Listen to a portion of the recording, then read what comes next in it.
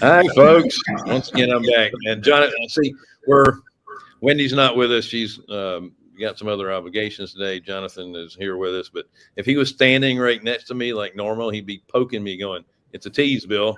Get on with it." well, yeah. Come on, come on, Bill. so we are uh, Carolina Capital Management. Thank you so much for joining us on the Real Estate Investor Show. Hard money for real estate investors. Like I said, we are Carolina Capital Management. We are lenders in the Southeast.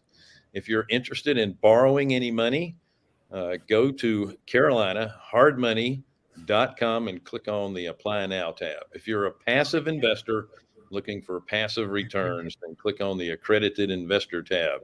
Don't forget to like, share, subscribe hit the bell. And as always, don't forget to sign up with Wednesday with Wendy.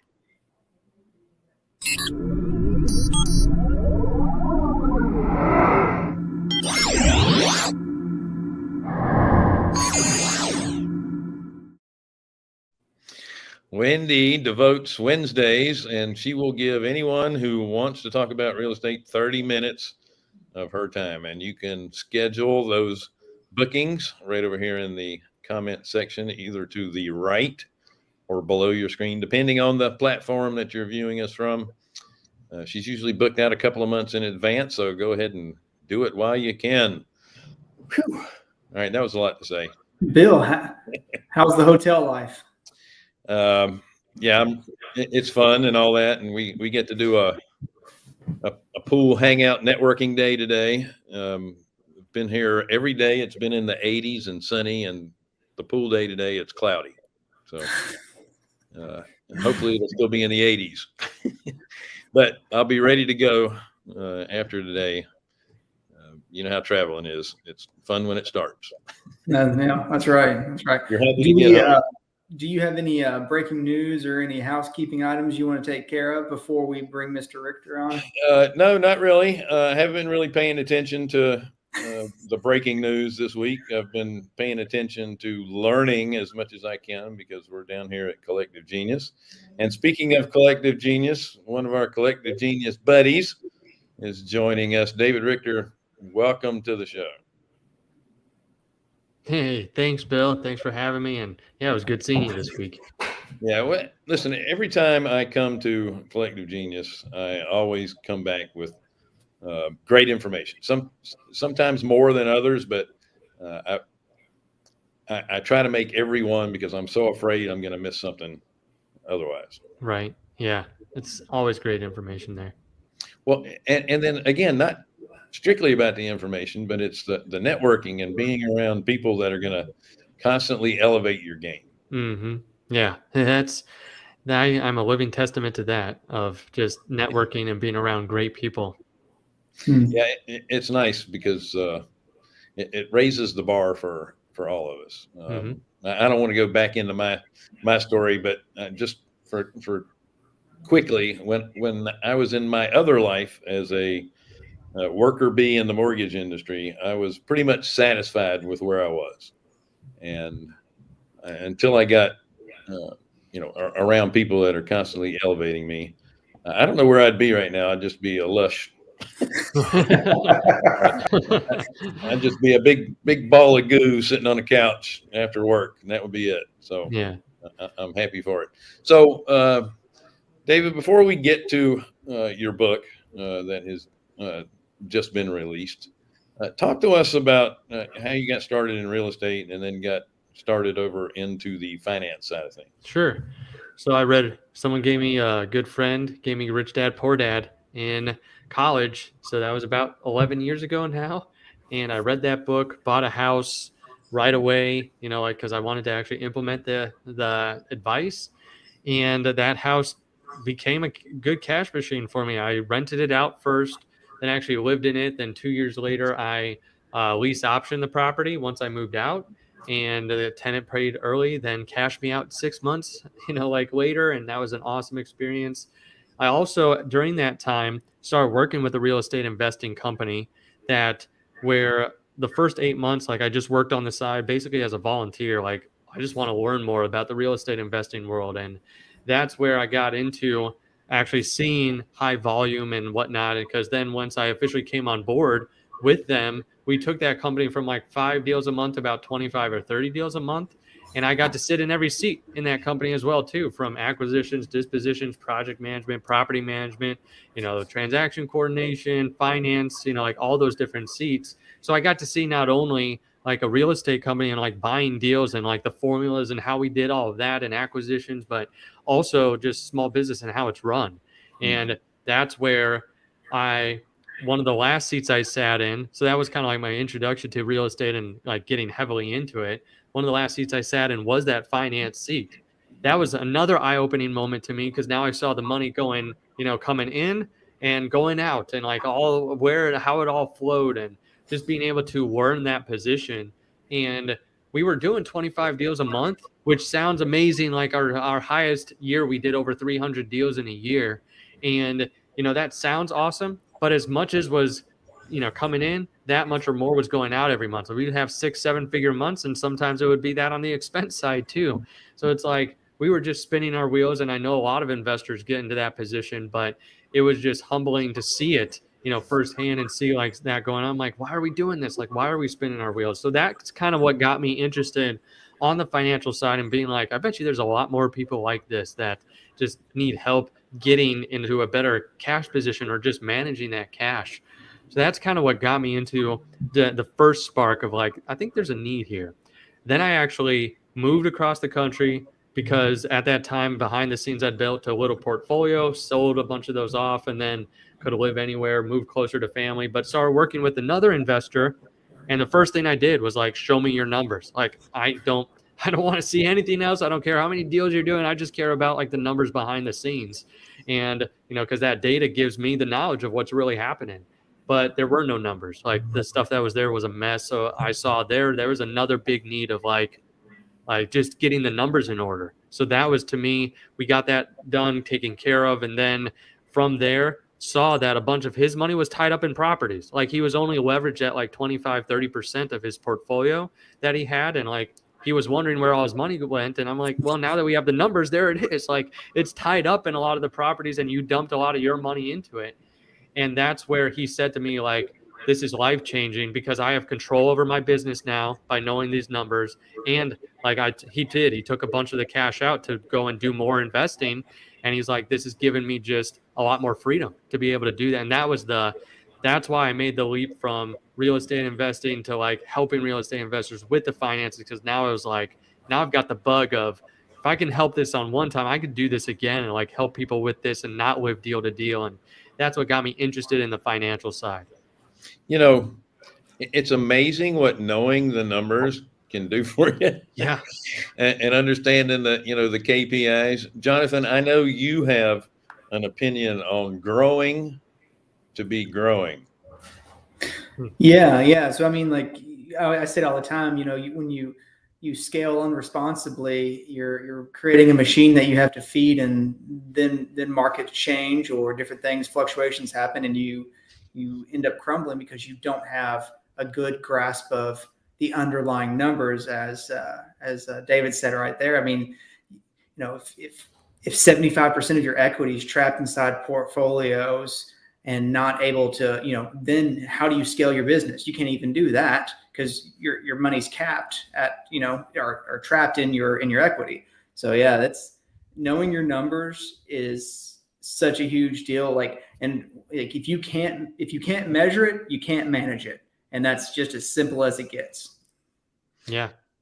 So, um, David, I know on the on the profit first when you you came in and helped us implement it uh, in, in our business, we did like almost every other entrepreneur does. They pay all the expenses and then they get to keep what's left over. And, and what happens usually? We have so many left over. right. So uh, t- tell us uh, uh, about Profit First and how it works. Sure. So that's where right away I called a mentor and said, I think I'm going to like start a business to help people. And he said, have you heard of Profit First? I said, no. So this was a couple years ago. So I downloaded that book right then, took 10 pages of notes and said, this is the framework.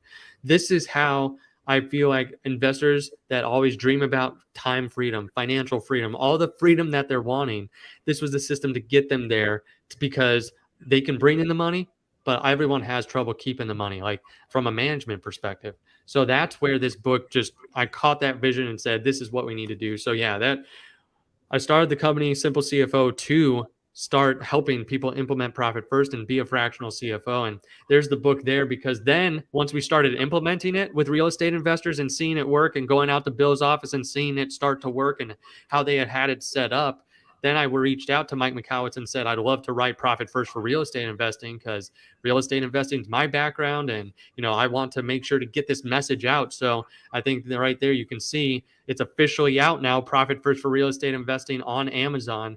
And this book is specifically tailored to the real estate investing industry. And this is to help manage the cash. And I could go into you know like what that really entails and what that uh, does bill if you want me to do that but the book is officially out on amazon there so it's just yeah, I don't want to give you. I don't want you to do the book on the on the on the air here. We, we would like people to actually purchase the book. Sure. Yeah. um, but it's it's basically just what it says. It's taking your profit first, and yep. frankly, if your um, expenses are too high after you've taken your profit, then you need to do what? Lower your expenses, right? or increase your revenue, or both. Yeah. And well, you know what's so so funny, and David, maybe you can talk about this. I think a lot of small business owners, especially in real estate, fall into that thought process of I have to increase my expenses to increase my profit. Right. Is, do, you, do you talk to a lot of people who who have that mindset? Yes, and it's it sounds logical like oh i got to spend more here to make more over here and sometimes that is true like if you but what bothers me is that we make that from a gut feeling and not from data to be like, hey, this marketing channel does return 5x. I should more, pour more into this one, you know, because mm-hmm. it's our best performing one or whatever. And usually our people are just going out there making the, the decisions, but they're not knowing if that's going to give them the actual return.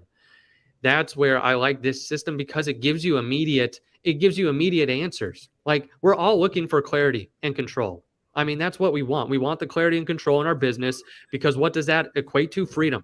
It really equates to freedom. If you have control of your business, then you know that if I hired this person to take this off my back, I could go like Bill, you know, to uh, an event, or I can be like Wendy and go do other things, you know, or whatever it might be.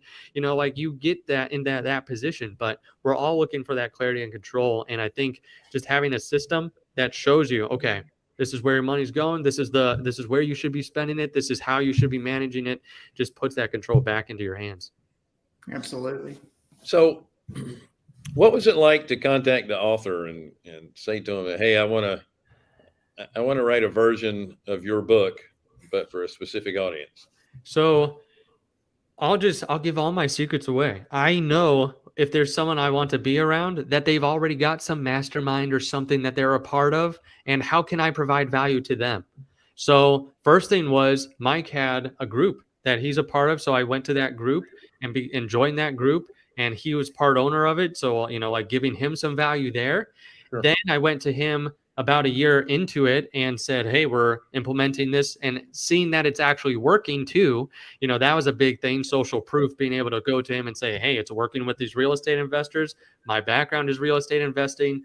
What do you think about a book for real estate investors? So that's where I contacted him via email. And, you know, after getting to know him a little bit more, so that invitation was a little bit more open.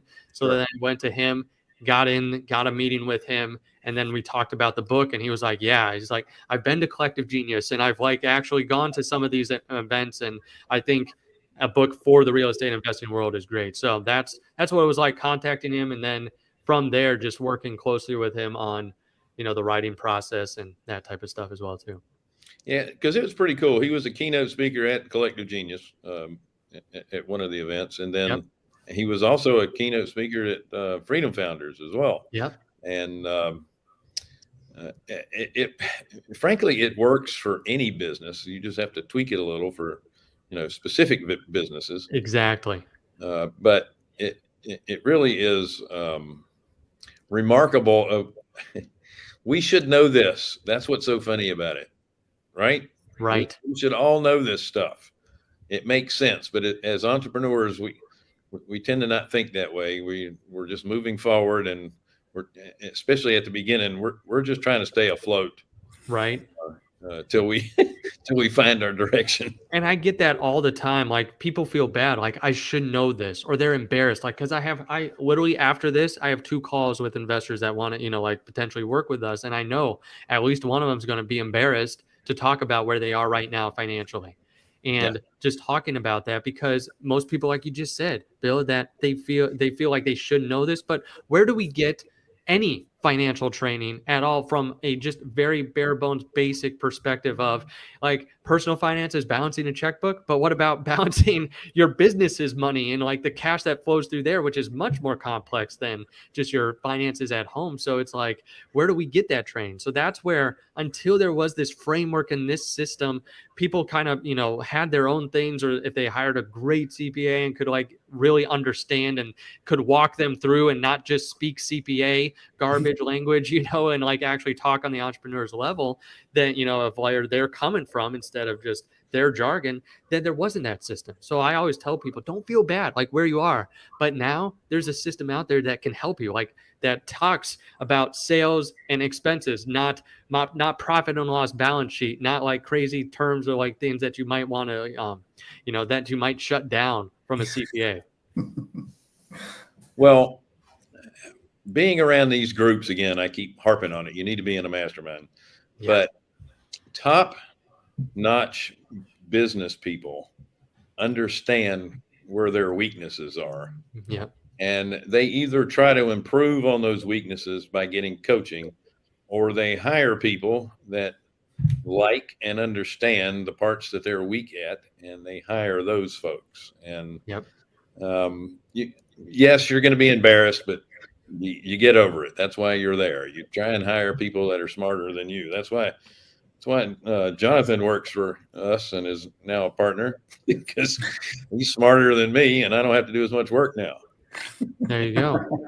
That's where, and yeah, you don't have to be embarrassed. We don't get this training unless you are one of the few accountant turned entrepreneurs, which there aren't there are so few and far between. But yeah, usually their their risk level tolerance isn't isn't high enough to make right. that switch. exactly, exactly. So, and I get it. So yeah, totally understand. So, um, when was the official launch? What is today? The 9th? It was the seventh, Tuesday. So oh, wow. a few days ago was the official launch. It was an incredible launch. Had a lot of pre-orders of the book and it's getting out there. So I'm just very excited about where this is going and just if we can help save real estate investors from not having money and just making sure that they actually keep more of it. Yeah, yeah.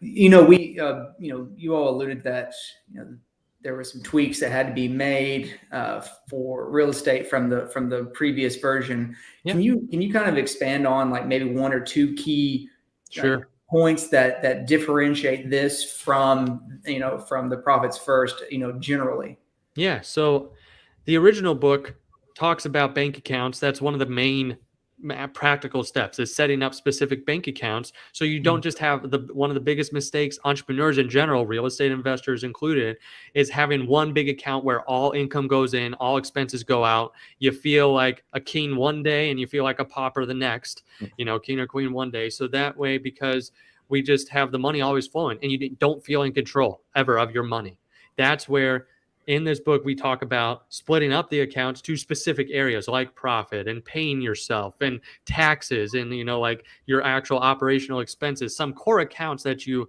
build out and you set up inside of your business. But in the real so i still talk about that in the real estate version and those fundamental accounts because they are fundamental but then from there, I give specific real estate ones like OPM. If you're taking Carolina Capital Management or if you're taking hard money, private money, bank money, whatever, you should have an account that's different from your operational money like to run your business. You should have a different account so that way it's that's just for the projects. See if you're going over budget you know under budget whatever so that way you know that money is not being mixed in and you're creating an unintentional ponzi scheme you know so making sure you're saving yourself from that so that's one big thing i talk about in there i also talk about one other quick thing reserves reserves help grow your company making sure you're scaling. And I think Jonathan and Bill, you're talking about this, how Jonathan feels like you're not just growing to grow. We're scaling profitably. We're scaling at a, at a rate where, yeah, we might take a dip in our profitability, but at least we know we still have it. And we've made the conscientious decision to grow and say, okay, some of these percentage points are to now hire this person who's going to take care of this and going to get us to this next level. So being able to you, you know, reserves help you grow. Another big thing I say about reserves too is most entrepreneurs, real estate investors live deal to deal. That's just the, the fact. Month to month, paycheck to paycheck, you know, just those types of things. We carry a lot of those habits over once we become entrepreneurs if we don't have, if we're not conservative or we're not, aren't saving already. And that's where reserves help you not to not to live deal to deal by saying, yeah, I don't need that next deal. That next deal that comes across my plate with the slim margins and like I have to do some creative stuff here just to make the just to make it work. That way you don't have to take those. You're able to make decisions from your purpose and not from fear meaning like I don't have to have this and put myself as a motivated seller or buyer now, you know, and I can now just take a step back and say, okay, where do I need to deploy this? How can I get that next deal? Is it good for us as a business? I talk several other different things inside there about reserves. I talk about the real estate rhythms because like in the original book, Mike talks about making transfers to the accounts on like the 10th and 25th. Real estate investing, is a whole nother ball game of like when you do you know like when income comes in. So i talk about that in depth on the types of businesses that you know real estate investing businesses. So those are a couple of the things that make this one different from the original book.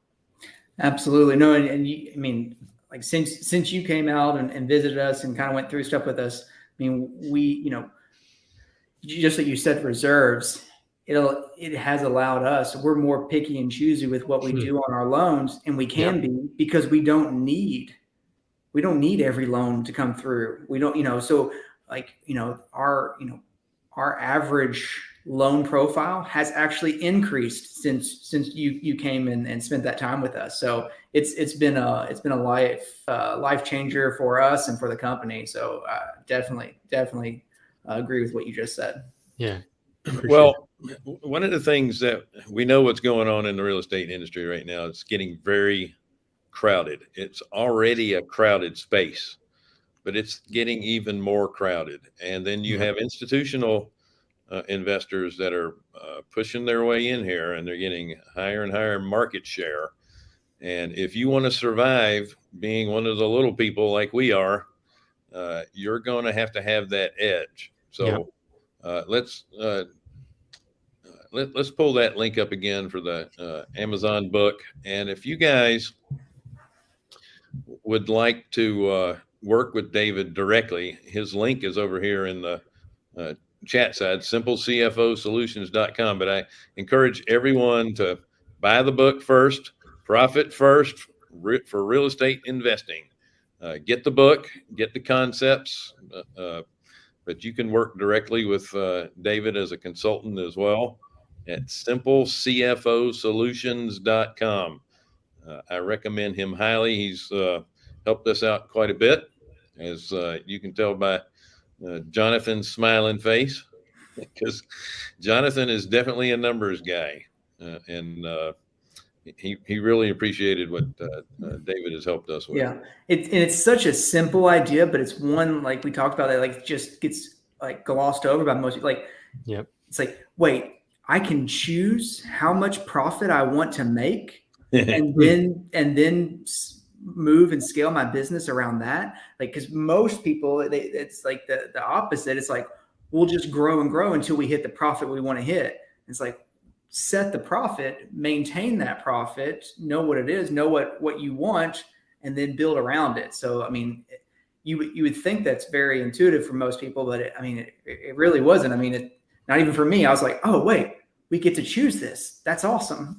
Right. Gives you that margin of safety too. I yeah. mean, you know, like if something does happen again, 2007 or 8 or like whatever. I tell people it doesn't have to be 2007 or 8. What about a personal crash? Like what if something happens inside of your personal life and, yeah. you know, if your business is a mess and you're stressed there and then you add this, then goodbye business. You know, it's like yeah. we know what's going to happen. So it gives you that margin of safety too to be like I can breathe a little bit here. Yeah, and and when you know when COVID when COVID first hit, uh, you know, we we probably we uh, if I can talk, our 2020 profits, not profits, I'm sorry, business just overall was reduced by about 30 percent. Hmm. But we were more profitable that year than the year prior. Hmm. Because we, you know, we had followed what what you had outlined for us, and I mean, it was amazing. I mean, we could still lose business and still maintain the profit margins that we wanted. It's incredible what you focus on expands. And that's uh-huh. where I, what you said, Jonathan, about it being, you know, once you focused on that, then it happens, you know, and that's where it seems like it should be intuitive for people, but it is. It, it's usually build, build, build, scale, scale, scale. Hopefully I get the profit and then crash burn. You know, here we go again. So, yeah, Larry touched on some of this yesterday about, uh, being consistent in your business uh, to help you maintain uh, not just your sanity, but you know we've always thought that you had to work hard to uh, be successful, and it's not about working hard; it's about being smart at working and being being consistent and have that consistent level. Mm-hmm. And uh, you know, one of the things that will make you consistent is understanding your numbers yeah. and what it takes to get you satisfaction for you, your clients, your family, and your team. Yes. Uh, yep. It's uh, it, it's amazing, David. Thank you so much for for joining us today. Uh, Thanks for having I, me. I appreciate it. You've you've been on before. Uh, I wanted to make sure that I got you back on again because you're an awesome guest and your content is very valuable to the folks that uh, listen to our show. No, thank you very much for having me. It's always a pleasure being here. Hopefully, Wendy's here next time too, because I really like Wendy too. So. Yeah, um, we'll, we'll, we'll beat on her next time to make sure she gets here. Awesome. Sounds good. Um, again, folks, uh, simplecfo.com. Is that correct?